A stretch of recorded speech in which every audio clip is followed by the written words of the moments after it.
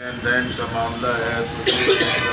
बोझ है और इस बोझ को हर सूरत में उतारना चाहिए नमाज जनाजा से